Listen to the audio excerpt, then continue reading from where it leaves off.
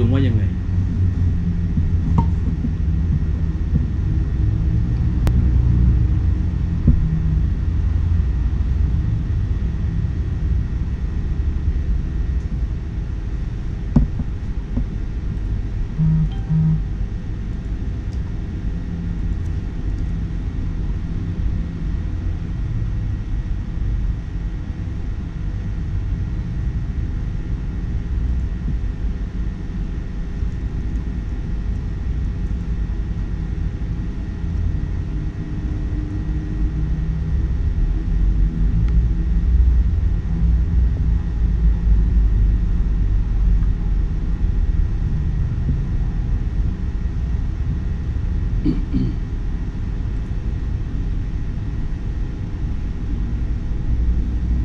ระดับ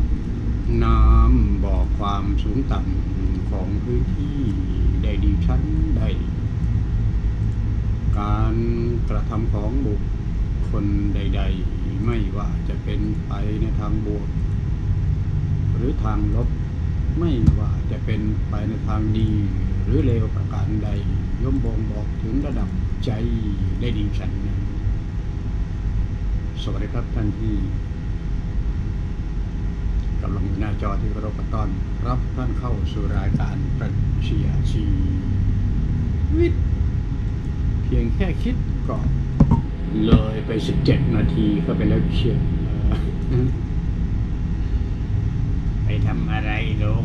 ฮะฮะไปเล่นอะไร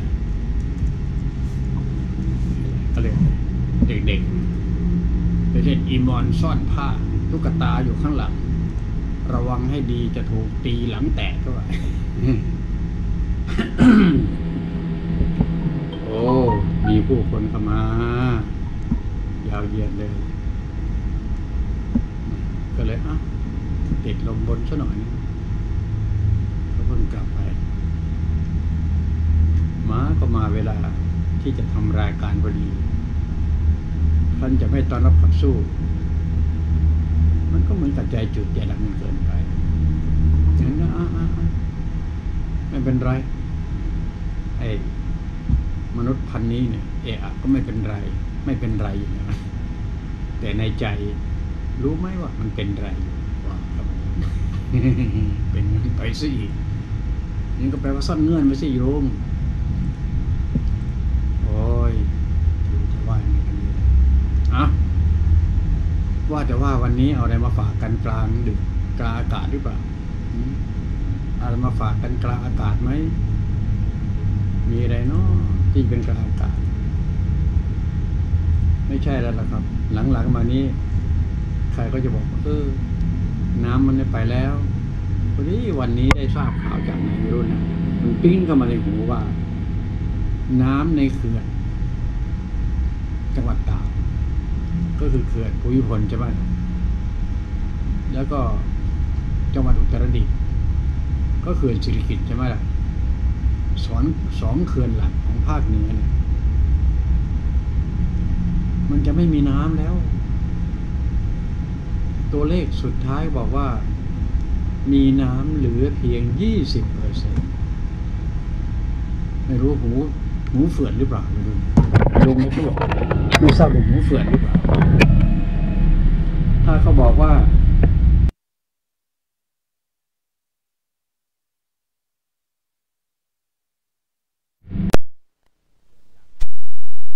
แค่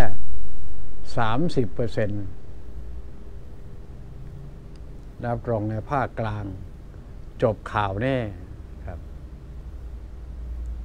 จบข่าวแน่นอนนะครับ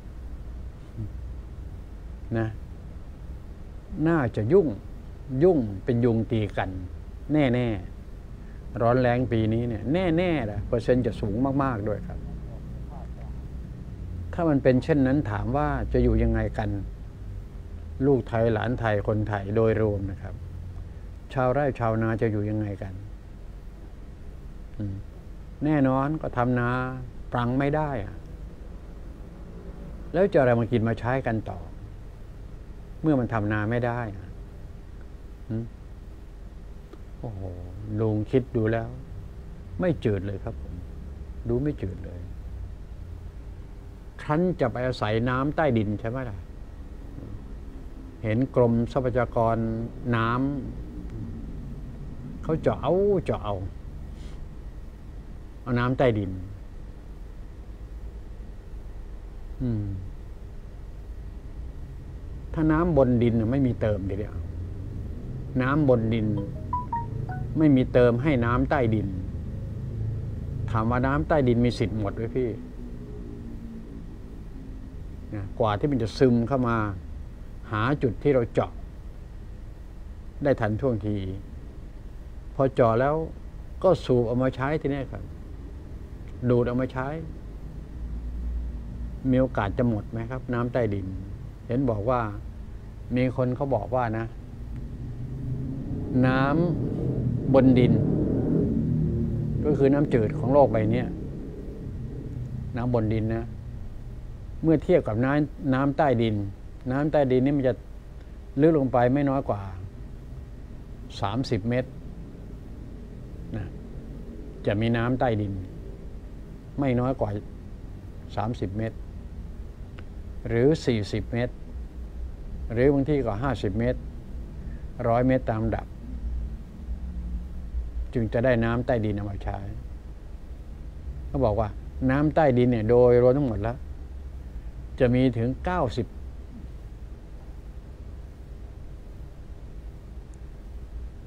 เก้าสิบกี่เปอร์เซ็นต์เนี่ย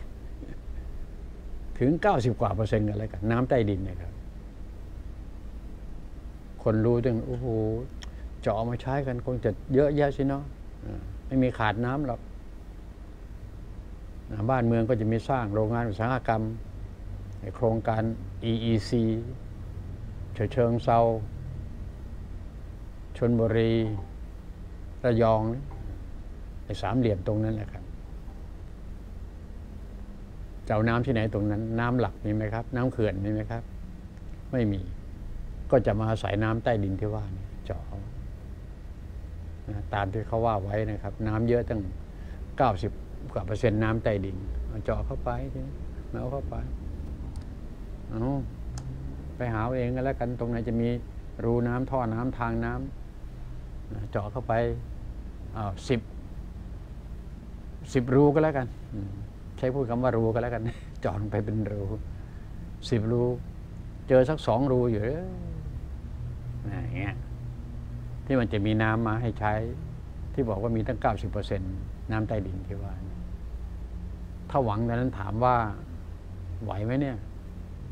คำถามง่ายๆน้ำใต้ดิน กับน้ำบนดินเนี่ยน้ำบนดินมันก็คือน้ำฟ้าน้ำฝนใช่ไหมล่ะเออถ้าน้ำบนดินไม่มาทีนี้ครับ น้ำบนดิน ก็คือน้ำฝนไม่มา น้ำใต้ดินจะมีไหมเนี่ยเห็นไหมครับ ฝนตกหนึ่งปี น้ำจะมีแช่อยู่ผิวดิน แล้วก็ซึมซึมซับไปในดิน มันจะไหลลงไปทันไหมเนี่ยซึมซับทันหรือเปล่า หรือว่าเกิดการเลยหัดเลยเหยไปตามความร้อนประจำวัน หมดอีกสรุปความว่าน้ำบนดินก็คือน้ำฟ้าน้ำฝน ตกลงมาเท่ากับเท่าไรต่อปี ซึมลงไปให้อยู่ใต้ดิน ไปทดแทนน้ำใต้ดินเนาะครึ่งได้ไหมครับ ไหลทิ้งไป มันเกินจำเป็นสิบเปอร์เซ็นได้ไหมครับ แล้วกักเอาไว้ได้สี่สิบเปอร์เซ็นเอามาใช้บนดิน ขณะที่จะเป็นการกั้นกั้นน้ำเอาไว้เป็นเขื่อนสี่สี่สิบเปอร์เซ็นพอไหม ถ้าเก็บได้นะสี่สิบเปอร์เซ็นตนะ มันก็โออยู่นะ ถ้าเก็บได้นะสี่สิบเปอร์เซ็นสี่สิบเปอร์เซ็นต์เออนี่เล่าสู่กันฟัง นั่นเป็นตัวเลขเล่นๆสักหน่อยหนึ่งนะครับ แต่ที่ค่อนข้างจะแน่นอน ค่อนข้างจะแน่นอนตัวล่าสุดเนี่ยเขาบอกว่าไอ้น้ำในเขื่อนภูมิพลเขื่อนสิริกิตมีน้ำเหลือประมาณ 20%ณวันที่ 1 มกราคม 2563 ใช้ได้กี่เดือนที่ว่าเนี่ยไม่ว่าจะเป็นอุปโภคบริโภค น้ำกิน น้ำใช้ นะว่าดูไม่จืดพี่เอ๋ยแต่ฝนไม่มางานเนี้ยหนึ่งเดือนสองเดือนที่ถึงเนี่ย ไม่แย่เลยลุงก็เลยนึกถึงเดี๋ยวที่เคยทำฟ้าทำฝนเอาไว้ ในรูปของวิชาการวิชาเกิน ให้ดูเล่นๆว่ามันทำให้ฝนตกได้ยังไงอ่าจะดูภาพไหนก่อนลุงก็เปิดสวิตช์ข้างๆนี้เพิ่มสักคำว่าบวกบวกกดสองครั้งครับหนึ่งสอง เพิ่มเสียง เพิ่มเสียงเสียงไม่ดีพอ เสียงมากไปมันก็แตกนั่นแหละระดับของเสียง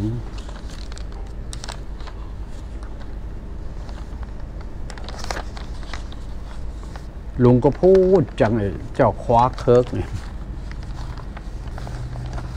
ให้ดูเล่น ๆ ในการแตกตัวของแสงเนี่ยดูเล่นนี่พระเอกของเรื่อง ยุคนั้นน่ใช้สมการ E เท่ากับ LMV L นี่ก็คือ light สมการลุงไม่ต้องไม่ต้องคิดมาก M ก็คือมวลอืม มวลสสารวัตถุก็แล้วกัน ส่วนตัว v ก็คือความเร็ว ความเร็วของ L เนี่ยความเร็วของแสง พอเวลาผ่านไปปุ๊บ มันก็จะมีการแตกตัวเข้าไปกระแทกแดกดัน อะไรล่ะครับ มันจะไปกระแทกแดกดันไอ้ส่วนที่มันเป็น อากาศต่อกับอวกาศ จุดนั้นจะเรียกว่า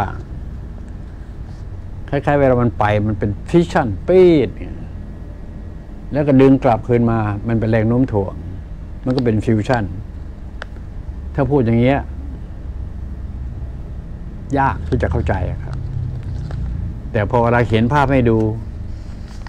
มันก็ออกมาเป็นภาพพวกเนี้ย จะเห็นตัวเล็กๆชัดก็คือฟิชชั่นกับฟิวชั่นนี่เอง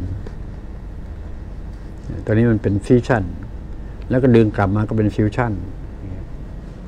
คือการแตกตัวของมัน จากแสงเนี่ยครับ นี่จากแสงก็แสงธรรมดาธรรมดาเนี่ยลุงทำไม่มีอะไรมากมายแล้วแสงอย่างเนี้ยธรรมดาเนี่ยแสงแค่นี้ครับ เนี่ยแค่นี้แสงแต่มันผ่าน ผมใช้คำว่าผ่านอะไรผ่านอีเทอร์ ผ่านก๊าซอีเทอร์อีกทีหนึ่งนะครับ มันถึงได้รุนแรงนะครับทำให้สามารถทำให้ฝนตกได้ว่าไปโน่นนอะไรทำนองนั้นนะครับแต่ไม่ใช่แค่นี้ มันมีหลายศาสตร์บอกยังไงปนกัน มันมีทั้งธรรมศาสตร์ศาสตร์ธรรมชาติ ทั้งหมดมันก็อธิบายผ่านควาร์กมันแต่มีการแตกตัวมีการรวมตัวก็แค่นั้นเองครับ ไม่มีอะไรมากมายไปกว่านั้น ก็หนีไม่พ้นอิเล็กตรอนโปรตอนนิวตรอนอยู่วันยังค่ำแหละพอเวลาอธิบายในเรื่องของพวกนี้ไปแล้ว อยู่ที่ว่าใครจะเข้าใจเพียงใด เข้าใจนะพอเข้าใจได้ อย่างเช่นว่าความเข้าใจเศษสวัสดิ์ร้อยเปอร์เซ็นต์ไอ้ที่พูดเนี่ยเข้าใจได้อายุสิบห้าเปอร์เซ็นต์นี่สำหรับคนที่รู้ภาษาเหล่านี้นะ ได้แค่สิบห้าเปอร์เซ็นต์ที่จะเข้าใจนะครับ รับรองว่าไม่เกินห้าสิบทุกรายแหละครับ ไม่เกินห้าสิบเปอร์เซ็นทุกรายที่ว่าเนี่ยครับ มันอยู่ที่คนทำคนทำมันร้อยเปอร์เซ็นอยู่แล้วล่ะ มันก็เลย ไม่ยุ่งไม่ยากในการจะทำนะครับ เพราะมันใช้หลายศาสตร์ ทั้งวิทยาศาสตร์เนี่ยแต่ต้องเข้าใจในกลไกธรรมชาติที่มันเกิดขึ้น กลไกธรรมชาติมันเป็นกลไกอัตโนมัติด้วยนะครับ กลไกธรรมชาติ ง่ายๆคือ ถ้ารู้จุดอากาศต่อกับอวกาศ เท่านั้นนะครับ มันก็มีจุดที่จะ เป็นไปได้ เพราะแสงนี่มันเดินทางออกจาก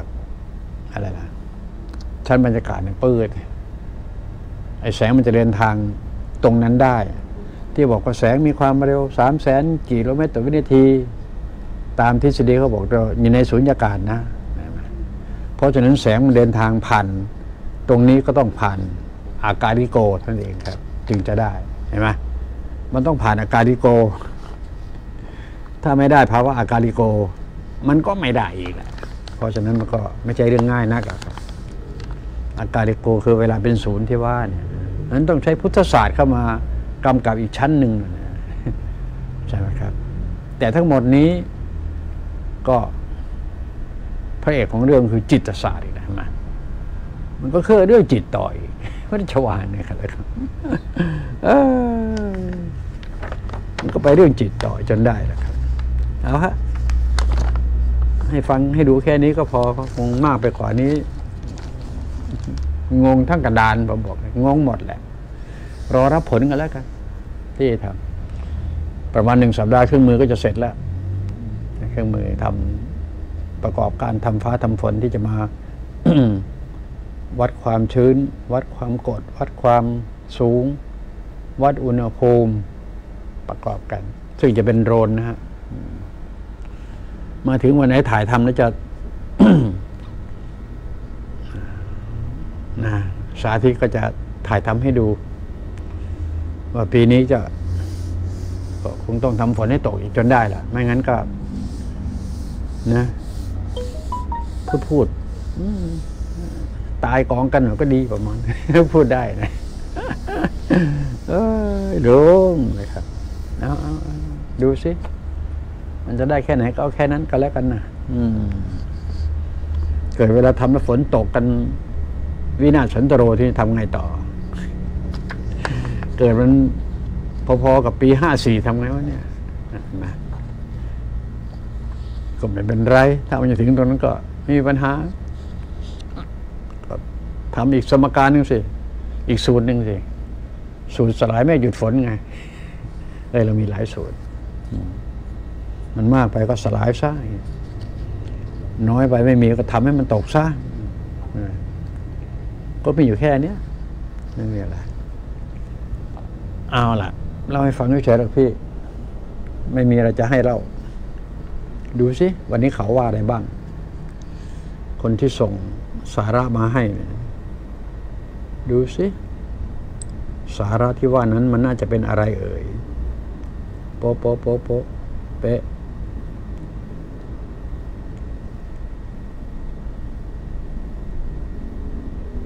อืม ตืดตืดตืดตืดตืด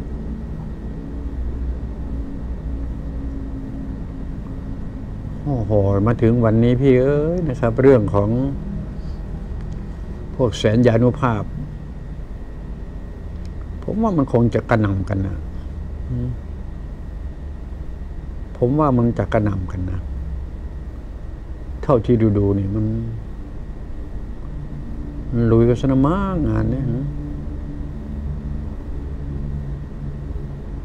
มันลุยก็สนามากนะครับบ้านใกล้เรือนเคียงแล้วก็ เปลี่ยนแปลงเนาะการเมืองการปกครอง ลุงก็พูดกันจังนะ มนุษย์เกิดมาแล้วมาแย่งอาหารกันกิน แย่งแผ่นดินกันอยู่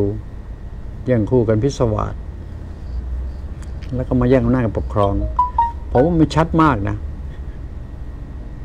มหาอำนาจโลกก็จะแย่งกันปกครองเนี่ยนะครับเอ้ยมหาอำนาจโลกก็จะแย่งกันปกครอง มหาอำนาจส่วนภูมิภาคก็จะแย่งกันปกครองเอาเข้าไป มหาอำนาจ หรือว่าอำนาจของแต่ละประเทศ เรียกว่ามหาอำนาจกันแล้วกัน ของแต่ละประเทศ ก็แย่งกันปกครอง เข้าไป พี่เอ้ยลุงไม่ไปทางด้านนั้นดีแล้วล่ะครับ การเมืองไม่ยุ่งไงการเมืองไม่ยุ่ง การมุ้งไม่เกี่ยว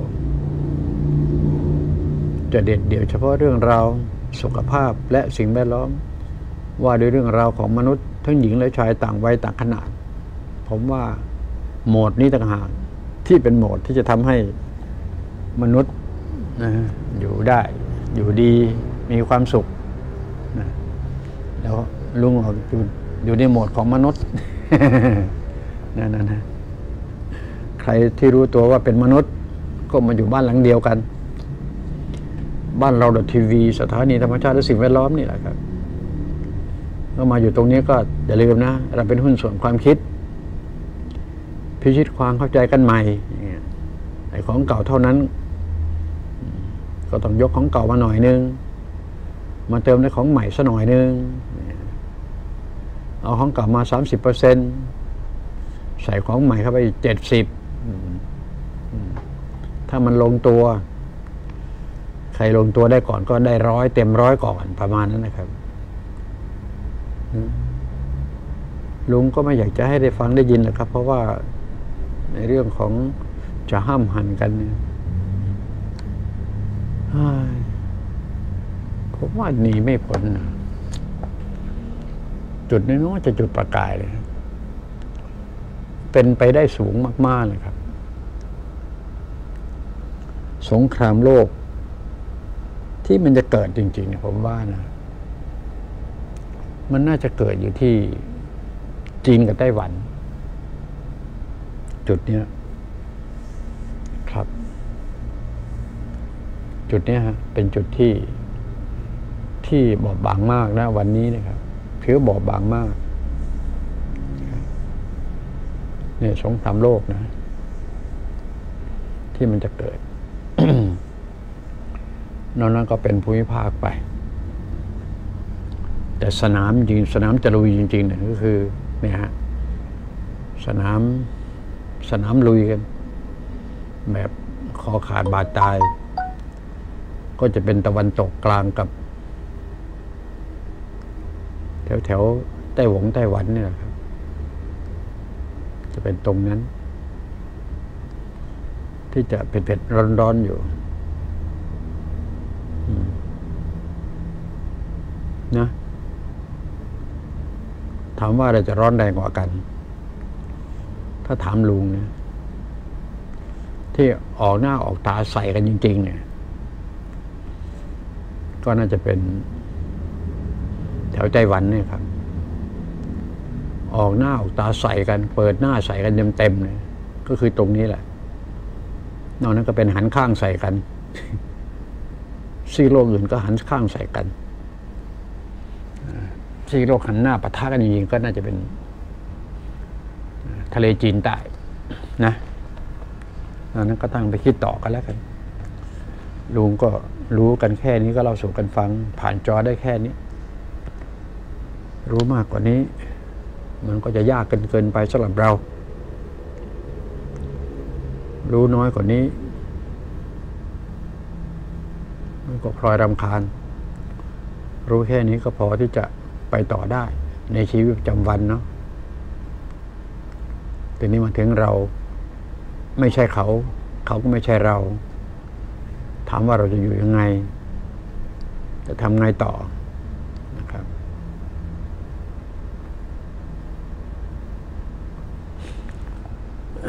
มีคนก็ส่งบทความหนึ่งมาให้เลเซอร์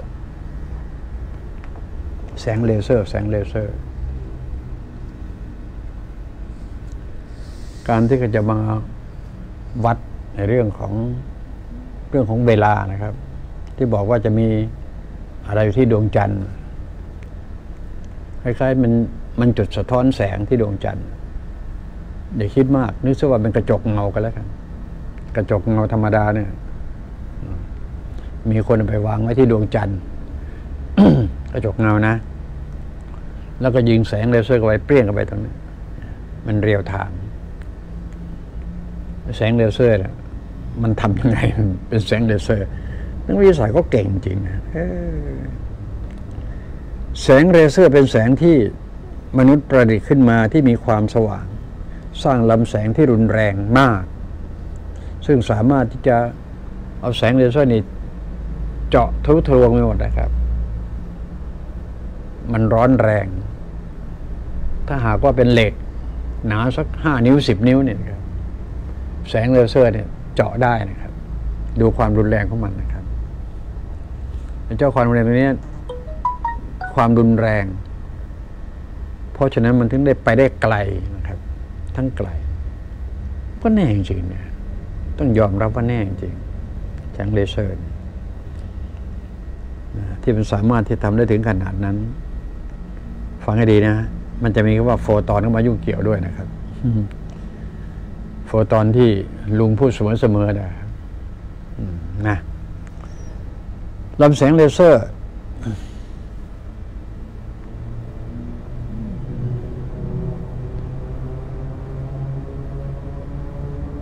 สามารถที่จะ ทำให้แสงเนี่ยมันเล็กเรียวมากนะครับเซซะว่าเท่ากับเข็มเล็ก ๆกันแล้วกันเข็มเล็ก ๆ เนี่ย ไปได้ไกลแสนไกลมากนะครับ จากโลกดวงจันทร์หรือว่าจากโลกไปยังดาวดวงอื่นๆเขาเนี่ยครับ ใช้แสงเลเซอร์ยิงจากโลกเราเนี่ยครับ รู้จักอาวุธเรื่องแสงเลเซอร์ไหมครับ เคยเห็นไหมฮะ แสงเลเซอร์มาอำนาจฝั่งตะวันตก เขาทำได้เป็นน้ำเป็นเนื้อนะ แสงเลเซอร์เนี่ย ก็ไม่ต่างจากหนังการ์ตูนเนาะยิงเลเซอร์ปิ้งปิ้งปิ้งปิ้งปิ้งปิ้งนั่นนั่นนั่นนั่นนั่นนั่นนั่นนั่นนั่นนั่นนั่นละนั่นละพี่แป๊บแป๊บแป๊บไม่มีจุดหมดทีเนี่ย ไม่ใช่ลูกกระสุนทั่วไปนะเนี่ยเลเซอร์ปั๊บปั๊บปั๊บปั๊บปั๊บปั๊บนะเหมือนไฟกระพริบเนี่ยปั๊บปั๊บปั๊บปั๊บเร็วมากครับ มีแต่ละถึงปลายทางปุ๊บเป็นไฟทีนี้ลุกปุ่มปั๊มปุ่มปั๊มปุ่มปั๊มเลยครับอ่าปลายทางมาประทับตรงนั้นก็เป็นไฟลุกตึมตึมตึมตึมตึมตึมตึมโอ้ตายกูตายลุงเอ้ยดูไม่จืดเลยพวกเนี้ยเจอยังไงก็ต้องเจอบอกใครได้หนีไม่พ้นเจอแน่แน่คราวนี้เจอได้แน่ นี่แหละมนุษย์สร้างขึ้นมาเขียนค่ากัน เอาเข้าไป ลุงไม่เกี่ยว ลุงรู้อย่างเดียว ถ้าเป็นการตายเกิดขึ้น ตายเป็นคนสุดท้ายก็แล้วกันถ้ารอดตายก็ ก็พยายามจินตนาการนะนะไม่ว่าจะเป็นอาวุธชีวภาพก็ดี อาวุธเคมีก็ดีนะหรืออาวุธนิวเคลียร์ก็ตามที อาวุธแสงแสงเลเซอร์เนะครับ อาวุธคลื่นก็ตามที โอ้โหมันเป็นอาวุธหมดแล้วพี่เอ้ยถ้าหากว่าถึงเกิดถึงวันนั้นนะผู้คนล้มตายไปหมดถ้าลุงอยู่คนเป็นคนสุดท้ายใช่ไหมลุงจะอยู่ยังไงเนี่ยเอาจริงๆนะไปไหนก็มีแต่ผู้คน จะเอาจมูกไว้ไหนถึงมันต้องหายใจเนาะโอ้โห กลิ่นคงจะตลกอบอวนน่าดูนะครับ จะไปอยู่ทุ่งกระราร้องไห้ดีไหมเนี่ยครับ มันก็คงเป็นอย่างนั้นน่ะหนีกลิ่นเนี่ยใช่ไหมครับ แล้วถามว่าเมื่อไหร่มันจะหมดกลิ่นนี่เนี่ยอีแรงก็คงจะหอบไปด้วยไม่ไหวแล้วครับ อีแรงเนี่ยเป็นอาหารอีแรงมันคงอีแรงคงจะไม่พอที่จะเก็บซากศพเหล่านี้เป็นต้นไปเลยไม่รู้ลุงก็มองไว้งั้นแหละครับนึกไปนึกไป โอ้ตายตาย รอมาถึงมันเน่ามันเปื่อยหมดทีเนี้ยโอ้โห กี่ปีวะเนี่ยดูไอสัตว์ตัวเล็กตัวน้อยจะเกิดขึ้นมาทีนี้โอ้โหนักข้อไปเลยลุงจะไปอยู่รูไหนเนาะถ้าลุงอยู่คนเดียวทีนี้เสร็จเลย เสร็จมาลากกักเลยพี่เอ้ยนะครับ ทีนี้จะหาใครเนาะไปอยู่เป็นเพื่อนทีนี้นะ ต้องหาพวกแล้ว อยู่ด้วยกันนะพี่นะไม่รู้จะทำไงแหละครับอา้าวมันมันมันจะถึงอย่างจริงแล้วไปกันใหญ่หมดแล้ว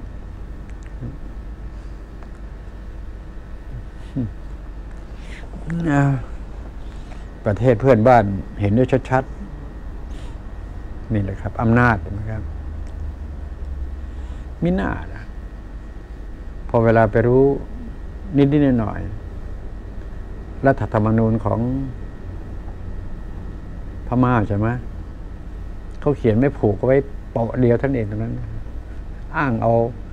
รัฐธรรมนูญมาใช้ทันทีแล้วโอ้ตายเลยครับเขาคิดกันอย่างนั้นเหรอเออเป็นเรื่องเขาเรื่องเราก็ อะฟังต่อนิดหน่อยนะครับไอ้เจ้าแสงเลเซอร์เนี่ยมันสามารถยิงจากโลกไปยังดวงจันทร์นะใช่ไหมครับ เพื่อที่จะมาคำนวณเวลากันใหม่นะครับ รู้เวลากันใหม่เขาเรียกว่าเวลาเวลาอะตอมอะตอมนั่นแหละครับถึงเวลามันแม่นไงฮะเวลานี้จะไม่คลาดเคลื่อน มันตรงเวลาเป็นเป็นร้อยปีพันปี โดยไม่คลาดเคลื่อนครับ ไม่คลาดเคลื่อนเป็นวินาทีไม่คลาดเคลื่อนเลยเขาจะมีการกำหนดเวลาโลกใหม่กันไงอืมนี่มันจะ set zero กันใหม่หมดแล้วผมว่านะหลายอย่างทุกอย่าง มันคงจะล้างโลกนะแล้วมาเซตกันใหม่ไม่งั้นเซตกันไม่ลง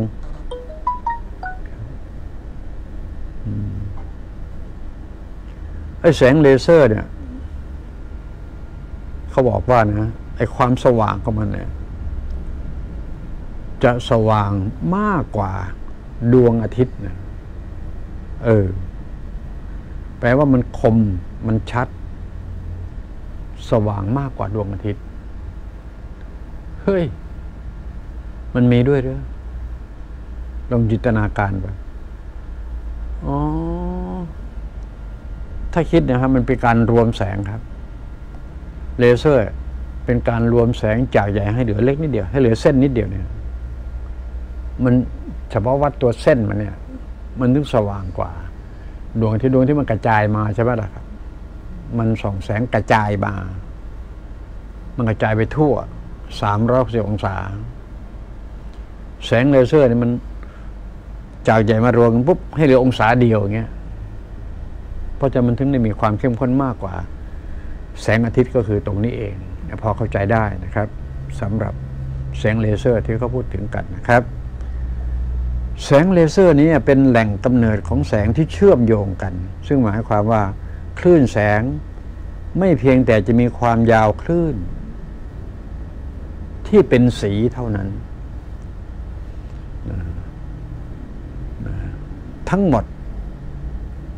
มันจะเป็นสีออกมาเป็นสี สีแล้วก็ตามทีนะครับ มันจะเท่ากันทั้งหมด เออ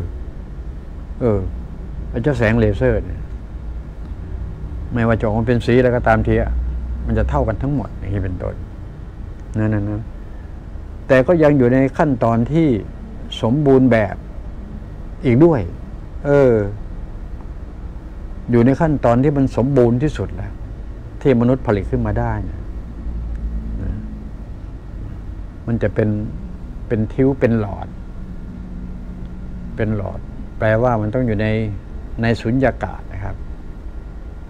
ไม่ใช่อยู่ในอากาศ เพราะว่าตัวที่มันที่มันเกิดแสงมันอยู่ในสุญญากาศ แต่เวลามันปล่อยมาปล่อยมาทางทางอากาศไอ้แสงที่ว่ามันก็ยังเป็นลำไปอยู่นี่มันไม่สามารถที่จะแตกกระจายออกไป มันจึงได้เข้มข้นแล้วก็ไปได้ไกลนั่นเอง นั่นคือแสงเลเซอร์นะครับ ที่เขาใช้ยิงกันมันทั้งร้อนทั้งอะไรก็ว่ากันไปนะครับ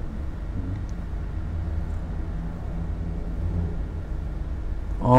ภายในหลอดเลเซอร์ แปลว่าในนั้นนะฮะ มันก็คำว่าดูดอากาศออกก็ มันไม่มีออกซิเจนประมาณนะครับ แต่มันใช้ก๊าซอื่นเข้าไปแทนที่ เช่นมีก๊าซฮีเลียมก๊าซนีออน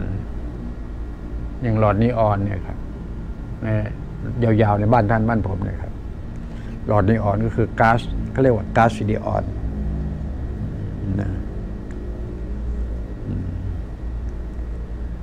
ทีนี้เจ้าเลเซอร์เนี่ยมันทำงานโดยโดยกระตุ้นอะตอมอะตอมในอากาศ โดยการกระตุ้นอะตอม มันเป็นอะตอมคืออาการเป็นอะตอมนะครับ มันจะไปกระตุ้นอะตอม หรือในหนึ่งบอกว่าตีอะตอมให้มันแตกเห็นไหมตีอะตอมแตก เออโอ้ยหลวงงงนะหรือว่าไปกระตุ้นอะตอมของวัสดุเช่น กระตุ้นอะตอมของดินสอเนี่ยพอเวลามันยิงใส่ดินสอในเปี้ยงมันจะไปกระตุ้นอะตอมตัวเนี้ย ให้เกิดความร้อนก็เป็นไฟลุกไหม้ขึ้นมาทันทีเนี่ยนี่ครับ ลุงนึกถึงอะไรรู้ไหมพูดต่อไปนี่ดีไหมถ้าพูดมันก็เป็นชี้โพรงให้กระรอกทันทีแล้ว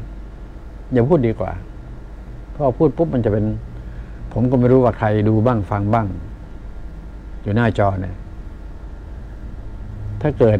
มิจฉาชีพฟังดูทีเนี่ยพอเวลาผมพูดเรื่องต่อไปนี้ ก็จะกลายเป็นชี้โพงให้กระรอก เพราะฉะนั้นก็เลยต้องต้องไม่พูด เพราะว่ามันเป็นโทษ ถึงจะเป็นภาคความรู้รู้จริงรู้ดีแต่คนจะเอาภาษาเนี่ยไปใช้เกิดเป็นโทษ เพราะฉะนั้นลุงต้องไม่พูดต่อ ว่า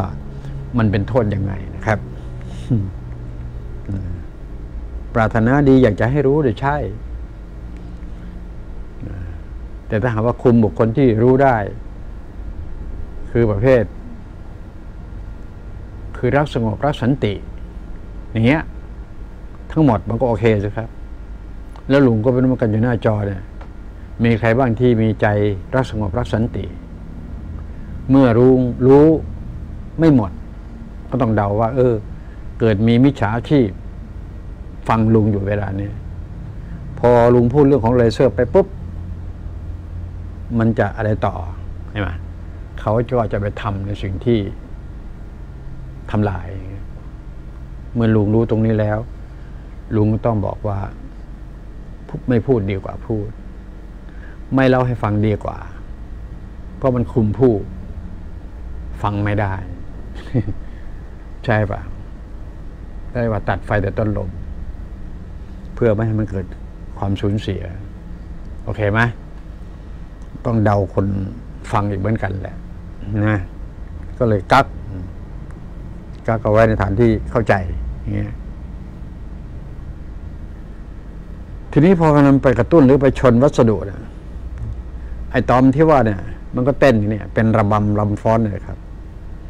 พร้อม ๆ กับปล่อยโฟตอนออกมามาเลยโฟตอน โฟตอนมาแล้วจ้าปล่อยโฟตอนออกมา แล้วโฟตอนที่ออกมาปุ๊บ ก็ดันไปชนกับอะตอมอื่นที่ได้ครับ เพราะโฟตอนเนี่ยมันซึมไปกับซึมซับไปกับอะตอมทั้งหมดในในชั้นบรรยากาศไปทั้งหมดนะฮะเพราะฉะนั้นพอเวลามันกระแทกอะตอมตัวนึงมันแตกกันแล้วกัน ที่มันกลายเป็นโฟตอนละโฟตอนมันก็กระแทกอะตอมต่างสารพัดมันก็เป็นโดมิโนสิเนี่ยโดมิโนเลยครับ แตกกระจายไปสร้างเซนไปหมดเลยนั่นก็คือ ที่มาที่ไปของมันนะครับ เป็นโดมิโนเลยนะครับ ชนกันเละตุ้มเป๊ะไปหมด จากจุดเริ่มต้นเล็กๆเนี่ยก็ขยายไปเขาเรียกว่าฟิชชั่นภาวะนี้เรียกว่าฟิชชั่นแตกตัวแบบขยายตัวฟิชชั่นออกตัวบทนี่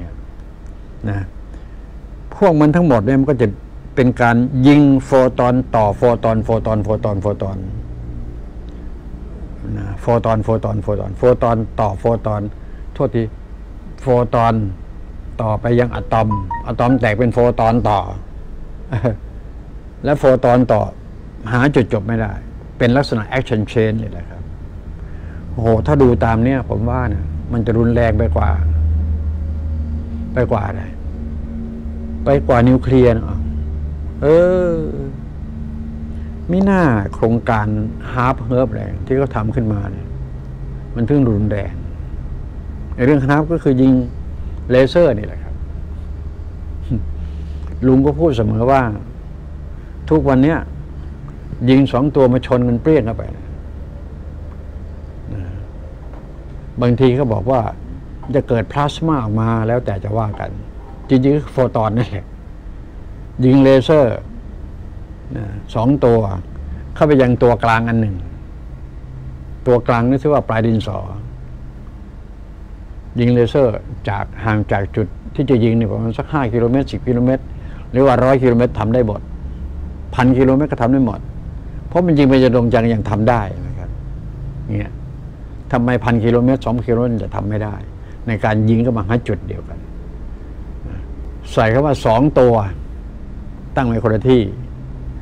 ยิงเข้าไปในจุดเดียวกัน เวลาต้องไม่ผิดพลาด เวลานี่ต้องเป็นระดับเศษหนึ่งส่วนร้อยของวินาที เศษหนึ่งส่วนพันของวินาที เศษหนึ่งส่วนหมื่นของวินาที หรือเศษหนึ่งส่วนล้าน ของวินาทีประมาณนั้นครับ มันแฟบเดียว พอแฟบเดียวมัน ปี้ยงเข้าไปวุ๊บแตกเลยนี่นี่แค่สองตัวยิงกัน ถ้าสามตัวทีเนี้ยสามเศร้าอ่าสามเศร้าชนกัน แล้วจัดมุมให้มันตรงกันทีเนี้ยอ่าเรื่องมุมเนี่ยสามร้อยสิบองศาเนี่ยแบ่งเป็นสามส่วน ถ้าเท่ากัน ยิงไปพร้อมกันที่จุดเดียวกัน จุดนั้นจะเป็นอะไรก็ได้เอาทรายเม็ดหนึ่งก็ได้เอา ทรายนี่จะแตกเปรี้ยง โอ้โห มันก็เป็นระเบิดนี่เอง โอ้โห ตายกูตาย มีหน้าเรื่องฮาร์ปนี่ได้เกิดขึ้นมา ผมบอกว่าสองตัวก็ทำได้แน่ๆสามตัวเนี่ย เชื่อว่าน่าจะได้ ใช่ไหมฮะเพราะตั้งเสาขึ้นมาให้มันนิ่ง ก็ยิงได้ทันที จะอยู่ไกลขนาดก็ทำได้ครับอันนี้เป็นต้นโอ้ยนึกภาพไม่ออก แต่ถ้าหากว่าสี่จุดที่เนี่ย ยิงใส่พร้อมกันผมบอกว่าสามตัวมาชนกันเรียบร้อยแล้วนะครับ ข้างบนมาอีกหนึ่งตัวนี่ยิงมาลังตรงกลางอีกทีหนึ่งโอ้โหอ้ายดูไม่จุดเลยพี่เอ้ยตายตายตายตายตาย ยอม ยอม ลุงก็บอกว่าอะไรมันจะเกิดว่าต้องเกิดแค่นั้นแหละครับ ไม่มีทางเลือกอื่นจริง ๆ ครับเรื่องเนี้ยนะวิทยาศาสตร์เทคโนโลยีเขาทำได้หมดแล้วจริง ๆ นะ ที่พูดพูดเนี่ยครับ อย่าล้อไม่ใช่ล้อเล่นนะลุงพูดเล่าให้ฟังอย่างนี้ไม่ใช่ล้อเล่นนะครับ อืม อืม นะ ทุกวันนี้มันสามารถตรวจวัดกันด้วยการกดปุ่มอย่างเดียวนะ คนปลดคนกดปุ่มที่ว่าอยู่ไหนก็ไม่รู้ที่ว่า มันเป็นออโต้หมดแล้วจ้าอืมยิ่งระบบ GPS ทุกวันนี้มันนิ่งมันแน่วแน่แน่วแน่ด้วย G GPS หรือ GSP วะเนี่ย GPS เนาะเดินทางเนี่ย GPS ไอ้ลุงก็เผลออยู่เรื่อยอีกน่อยก็เป็นได้เลยอ๋อภาษาย่อๆนะ นี่ยอย่างนี้เป็นต้นนะครับ ทีนี้ไอ้เจ้าโฟตอนนี้มันจะแตกตัวไปเรื่อยนะครับเห็นไหมอะไรมันเกิดขึ้น โอ้โห ถ้าหากว่ามันยิงก็ไปไปใส่ก๊าซเนี่ยจะเป็นก๊าซจะเป็นก๊าซอาร์กอนใช่ไหมอย่างเมื่อกี้ผมสมมติฐานคือปลายดินสอนะครับ ถ้าตรงจุดนั้นเป็นก๊าซอาร์กอน หรือก๊าซไฮโดรเจนอยู่เลยเห็นไหมโอ้โห ตายเลย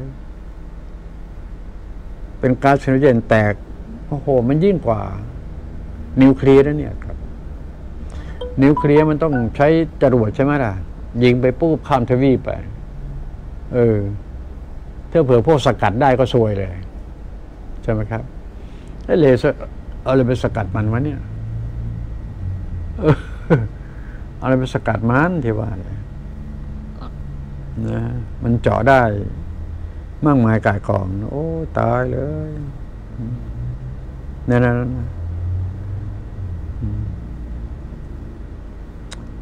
ยอมได้แบบนี้โอ้โห ถ้าเป็นยิงเข้าไปในใส่เข้าไปในอะไร เลเซอร์ดิยิงใส่เข้าไปไฮโดรเจน ฟลูออไรด์ไฮโดรเจนลุงไม่เข้าใจตรงนี้นะนี่ก็บอกว่ายิงเข้าไปใส่เข้าไปไฮโดรเจนฟลูออไรด์เหลว นึกไม่ออก ลุงนึกไม่ออก ลุงนึกก็นู่นเดียวคือ ถ้าไฮโดรเจนแค่มันแตกก็จะยุ่งแล้วเนี่ยโอ้ตายเลย ทีนี้บอกว่าสร้างลำแสงที่ ที่รุนแรงสำหรับเป็นอาวุธเห็นไหมมาเป็นอาวุธเห็นไหมครับ เลเซอร์เนี่ยเป็นอาวุธ เอาเข้าไปแล้วโอ้ยทีนี้ไอ้เจ้าเลเซอร์มาเนี่ยมันออกมาแบบเร็วมากเนี่ยความถี่มันจะเร็วเหมือนไฟกับพริบเนี่ยครับ เหมือนไฟกับพริบเนี่ยอย่มันเล่นแบบกับพริบแบบเนี้ยเห็นไหมครับกระพริบแป๊บแป๊บแป๊บแป๊บเงี้ย แบบต่อเนื่องเนี่ยจะส่งลำแสงที่มันที่มันอะไรที่มีอนุภาพออกมา เป็นระยะระยะไม่ขาดเวไม่ขาดระยะเวลา โอ้ยตายเลยพอแล้ว จินตนาการไปไม่ไหวแล้วแบบเนี้ยน้ามันจะตายกองกันไม่ใช่อะไรล่ะครับ เอ้าโอ้ยลาให้ฟังแค่นี้พี่เอ้ยเรื่องแสงเลเซอร์ นี่ยนะนะนะนะนะอะไรเนาะที่จะมาสกัดกั้นกันแสงเลเซอร์ได้ทั้งนั้นนะเออ นึกดูซิว่าอะไรควรจะเป็น มันเป็นตัวสกัดกั้นขนาดเหล็กมันยังเจาะไปได้เลยนะครับ อะไรมันจะมากั้นได้ นึกไม่ออกครับนึกไม่ออก น้ำฝนได้ไหมครับเนี่ย ผมก็ว่าน้ำฝนเนี่ยที่จะเป็นตัวสกัดกั้นหรือมันก็ชะลอมาต้านไง มาชะลอความเร็วความแรงของแสงเลเซอร์มาได้ไม่รู้ถ้าหากว่าให้ลุงนึกเอง ก็จะนึกตรงนี้ ว่าจะเป็นตัวที่พอจะสกัดกั้นกันได้ พอจะนะถ้าจริงประการใดก็ไม่แสบเพราะว่าลุงคิดเองตรงนี้ลุงคิดเอง อืม ก็คงเป็นน้ำฝนแค่อย่างเดียวอ่าไล่าให้ฟังแค่นี้ก็เหนื่อยแล้วพี่ทำไมถึงเหนื่อย เพราะมันจินตนาการล่วงหน้าไปแล้วว่าจะอะไรจะเกิดขึ้นสำหรับลุงนะ จินตนาการล่วงหน้าไปแล้วจะเกิดขึ้น กับมนุษยชาติเนี่ยคิดแต่จะเข็นฆ่ากันฆ่ากันเป็นไปได้สูงมากจริง ๆ นะเป็นไปได้สูงจริง ๆ ครับ หน้าวันนี้อืมเอา ระหว่างมหาตะวันตก ได้ผู้มหาอำนาจฝั่งตะวันตก ได้ผู้นำคนใหม่ มหาอำนาจฝั่งตะวันออก ก็แผ่แสนยานุภาพ คล้าย ๆ กับว่า ลองอะไร ลองแยบดูซิจะเจอหมัดสวนไหม หรือว่าเจอยับตอบประมาณนั้นนะครับ ในระหว่างที่กำลังกำลังจัดกระบวน บุคลากรจะไม่ลงตัวเนี่ยมาอำนาจฝั่งตะวันออกก็เฮลเฮลเฮลเนี่ยล่อเป้าล่อเป้า ท้าทายแค่นี้ก็รู้แล้วเป็นการท้าทายทำไมจะไม่รู้ตะวันออกเขาว่าเขาครบเครื่องแล้วประมาณนี้ครับเขาก็เลยท้าทายรูปแบบที่ว่าเนี่ยเอาเข้าจริงเปลี่ยนใจไม่เฉยไอ้ลูกหาบจะเปลี่ยนใจไงลูกหาบก็คือ นะเขาเรียกพันธมิตรใช่ไหมล่ะ พันธมิตรที่เป็นลูกหาบ เปลี่ยนใจเดี๋ยวคอยดูเหลือแต่หัวทีนี้ครับผมก็บอกว่าจะจัดระเบียบโลกใหม่หมด เป็นไปได้สูงครับจัดระเบียบโลกใหม่หมด ในระหว่างที่มันมีไวรัสโคโรนาเข้ามาเป็นตัว เป็นโจทย์ใหญ่ เป็นคำถามกับมนุษยชาติอยู่เวลานี้ซึ่งหาข้อยุติก็ยัง ไม่มีทางได้ เรื่องของเวชสมุนไพรก็เป็นศึกชิงนะชิงขายวัคซีน ชิงซื้อ ชิงขาย ฝ่ายผลิตมีกี่เจ้าแล้วก็ชิงจะขาย ฝ่ายซื้อโหมันเยอะนะ ก็ชิงจะซื้อทีนี้ไม่ได้ตามนู่นนี่นั่นก็โวยทีนี้ครับ ผมว่านะ ท่านที่อยู่หน้าจอที่เคารพครับ ลองจำภาษาหลักตรงนี้ไว้หน่อยนะครับว่า นอกจากจะบอกว่า ทุกชีวิตมีค่าเท่ากันแล้ว ทุกชีวิตยังมีสิทธิโดยชอบธรรมจะป้องกันตัวเองได้ ครับ ป้องกัน เพราะฉะนั้นการงับอากาศ หรือว่าการสร้างภูมิต้านทานก็ให้เกิดขึ้นในตัวเอง ซึ่งบ้านเราทีวีก็ ทำเป็นประจำอยู่แล้วนะครับ จะเป็นการเร้าด้วยแสงพลังงานบริสุทธิ์ซ่อนอยู่ในโฟตอนของแสงใช่ไหมครับ อย่างทุกๆก่อนจะจากกันทุกแต่ละวันแต่ละวัน ก็จะพยายามให้กับสิ่งเหล่านี้ ท่านก็ขยายผลในการที่จะแชร์ไปกับเพื่อนฝูงใดๆก็สุดแท้แต่จะพิจารณาก็แค่นั้นเอง ว่ามันดีแค่ไหนเพียงใด ทั้งนี้ก็เพื่อที่จะให้พอเวลามันเกิดสิ่งที่ผมกำลังพูดถึงเนี่ย ขึ้นมาในแผ่นดินโลกไปเนี่ยอย่างน้อยสุดพวกเราเจ้าค่อยก็อยู่ด้วยกัน ถ้าเป็นการตายก็เป็นกลุ่มสุดท้าย ก่อนจะไปจากโลกใบนี้ หรือเป็นไปได้มนุษย์พันธุ์สุดท้ายที่ยังหลงเหลืออยู่ในในโลกใบนี้นะครับ กล้าใช้คำว่ามนุษย์พันธุ์สุดท้ายนะที่จะหลงเหลืออยู่ในโลกใบนี้อ้นอกนั้นก็มอดม้อยหมดนะมันน่าจะ มนุษย์พันธุ์ที่มีปัญญาจะหลงเหลือ ใช่ไหมครับศีลสมาธิปัญญานี่นะครับ เออ มนุษย์พันธุ์มีปัญญาจะหลงเหลืออยู่นะที่จะดูแลอะไรแพร่พันธุ์ดูแลโลกใบนี้สืบต่อไป ส่วนมนุษย์ที่ขาดปัญญา ก็จะเป็นเบี้ย อย่างที่ว่าเมื่อกี้เนี่ยมันจะไปตามรูปแบบนั้นหรือไม่หรือไม่นะครับ ลุงก็มองเห็นในร่องรอยเหล่านี้ก็เล่าสู่กันฟังผ่านจอนะครับ ส่วนท่านจะรับได้เพียงใดก็อยู่ที่ท่านในที่นี้ลุงหมดภารกิจแล้วนะมีมีหน้าที่เนี่ยคือเล่าให้ฟังครับอย่าลืมท่านต้องใช้สองหูให้ได้นะครับ พิจารณาเป็นส่วนตัวไว้ด้วยนะครับอย่ามาเชื่อลุงไม่ได้ลุงไม่ใช่นักวิชาการนักวิทยาศาสตร์ลุงไม่ใช่นักอะไรทั้งนั้นแหละครับ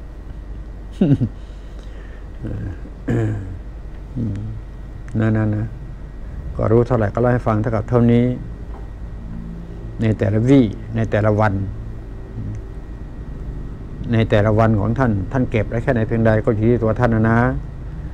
ท่านเป็นผู้ที่รับนะครับนะครับนะคะนะคะนักกานักกาเอาละแค่นี้ก็พอแล้วล่ะ มากกว่านี้ก็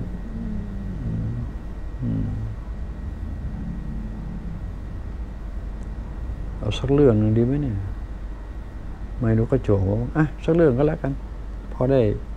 มีกลิ่นไอของโสดประสาทขึ้นมาบ้าง ไม่รู้เรื่องอะไรเนาะ